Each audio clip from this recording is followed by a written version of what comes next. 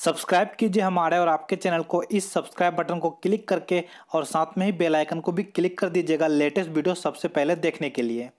हे hey guys, आज मैं आप लोगों को बताने वाला हूँ सैमसंग गैलेक्सी A50 के बारे में। अगर हम लोग बात करते हैं तो मैंने पिछले वीडियो में आप लोगों को बताया था सैमसंग गैलेक्सी A50 का पूरा स्पेस यहाँ पर निकल के सामने आ गया था।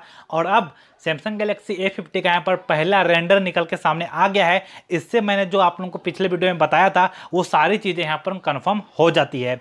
जिस तरह से मैंने आप लोगों को बोला था कि सैमसंग गैलेक्सी A50 में आपको वाटर ड्रॉप नोच देखने को मिलेगा, यानी कि सैमसंग का इन्फिनिटी यू डिस्प्ले आपको देखने को मिलने वाला है।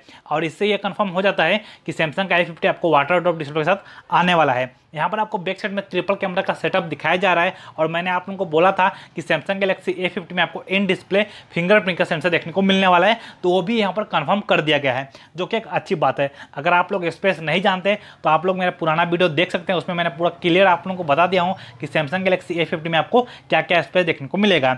इसमें आपको मिलने वाला है एक प्लास्टिक का फिनिश जी हाँ इतना अच्छा फ़ोन आपको दे रहा है, लेकिन ये एक प्लास्टिक फिनिश के साथ आने वाला है। यहाँ पर आपको सैमसंग मेटल नहीं देगा। तो ये बात आप लोग ध्यान रखिएगा।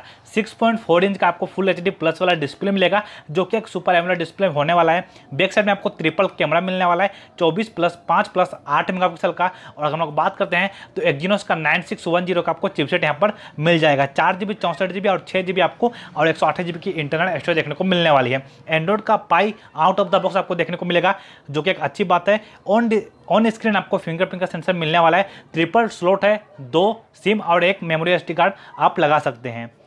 चार हज़ार मिली एम्पर की बैटरी मिलने वाली है, जो कि फास्ट चार्जिंग को भी सपोर्ट करने वाला है। तो ओवरऑल काफ़ी अच्छा है और अगर हम लोग बात करते हैं तो ये स्मार्टफ़ोन मार्च में आएगा तो मार्च तक आपको वेट करना पड़ेगा। अभी तक काफ़ी अच्छा लग रहा है और ये रेंडर जो निकल के आया है, इससे सारी चीज़ें कन्फर्म यहाँ पर हो भी जाती है।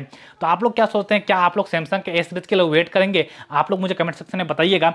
अगर आप लोग नए हैं तो यार प्लीज़ सब्सक्राइब भी कर दीजिएगा और यार प्लीज़ शेयर कर दीजिएगा ताकि बाकी लोगों तक ये वीडियो पहुँच जाए।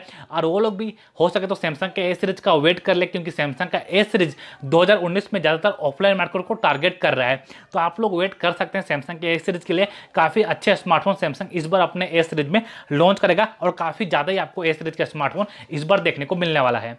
तो प्लीज़ वीडियो को लाइक कर दीजिए शेयर कर दीजिए और हमारे चैनल को सब्सक्राइब कर दीजिए। Thank you so much